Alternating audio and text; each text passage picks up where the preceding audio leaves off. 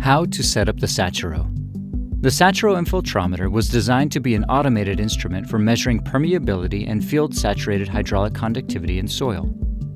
To operate the Saturo, you'll need the following supplies, which are included with the infiltrometer.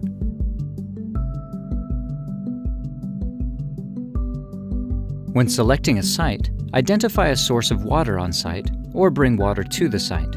When choosing a water source, consider the chemistry of the water which can impact the rate at which the water will infiltrate into the soil. It's best to use a water source near the measurement site. Charge the control unit battery. Remember to renew the charge after returning from the field. When you arrive at the field, remove rocks, sticks, and other large debris from the surface where the ring will be installed. Place the insertion ring on the soil and fit the driving plate on top.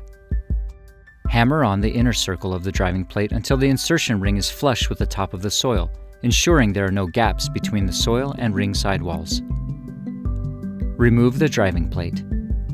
For hill installation, install the insertion ring with the tabs that connect the infiltrometer head perpendicular to the slope. This will position the level sensor in the middle of the slope. Clear all grass and debris from the lip of the insertion ring and clamp the infiltrometer head onto the insertion ring to form a seal. A clean seal prevents water from leaking. Don't clamp too tightly, as this can lead to warping of the insertion ring. Clamps can be tightened and loosened with a small flathead screwdriver as needed. Connect the hoses to the designated fittings on the infiltrometer head. Each input and output line is purposefully a different size of tubing to prevent a mismatch. If a tube doesn't snugly fit into a connection, it's probably in the wrong one. Connect the other end of the hoses to the control unit.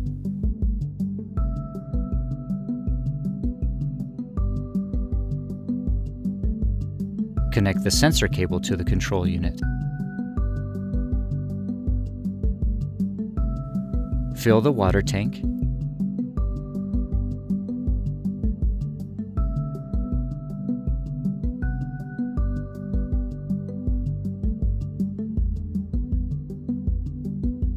and connect it to the control unit.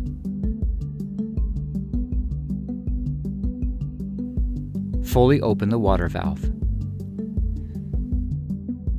For highly permeable soil, use the second collapsible bag with the Y connector to supply 10 gallons of water to the control unit. If 10 gallons aren't enough, a larger container can be used. To use a larger container, place the tube at the bottom of the container. Use a set of washers to ensure the tube remains underwater throughout the test. After each test, clean the infiltrometer head seals and insertion ring.